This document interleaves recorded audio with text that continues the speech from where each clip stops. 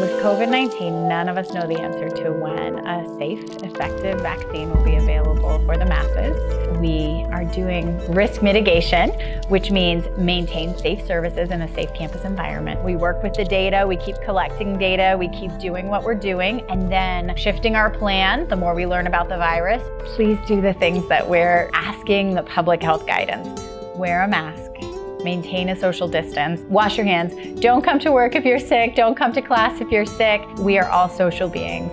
We all like to be in connection and community with each other. For our students, for our staff and faculty, I would encourage people in those social experiences to keep them small, keep them as safe as possible so that if it does come up, you can contact and identify we can contain this thing. So do all the things you hear everywhere, but do that too.